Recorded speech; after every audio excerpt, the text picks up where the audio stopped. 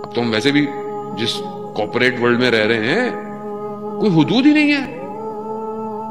और जब से ये एप्लीकेशन आई है, ये सॉफ्टवेयर ये फेसबुक ये इंस्टाग्राम ये तो अब घर की दीवारें गिर गई हैं।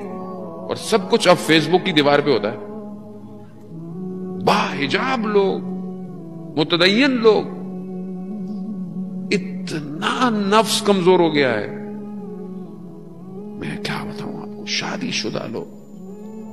घर बर्बाद हो रहे हैं, जाने मतलब ये आपकी ज़िम्मेदारी है कि आप अपने बच्चों को नोट करें, क्या करते हैं ये रातों को बैठ के? क्यों इंटरनेट के मोबाइलों के पैकेजेस इतने सस्ते हैं रात को? सारी रात पाँच रुपए में सारी रात बात करें। किससे बात करेगा ये रात को?